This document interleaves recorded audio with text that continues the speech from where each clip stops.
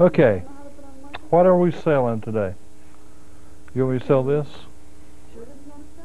Ladies and gentlemen, right here I have this quarter inch. You could use it for audio tape, but it might stick around your heads like so. It'll stick around your head like that.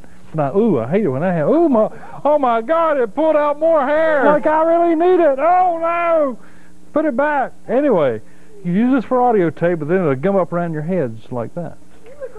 Or look like a who? I am. I am. Or you could use it as a delenter. You can delint your shirt like so. Or you can use it to pull out fleas out of the beard if you need to. Or if you got any real, you know, the boogers that get stuck way up in there, you just wad it up real good and you stick it way up in there, it pulls out.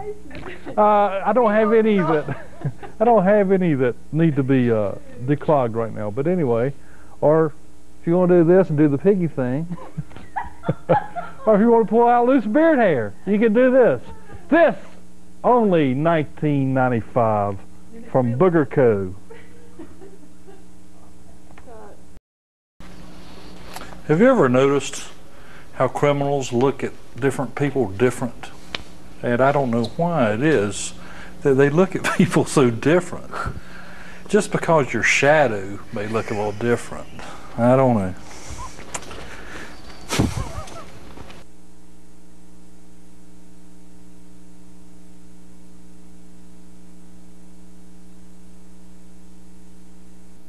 A Channel 9 Eyewitness News special report. On the roadside, she's stranded. I'm not good with cars. He's stranded. Do you have any cables? How safe are you as a motorist stopping to help or left stranded needing help?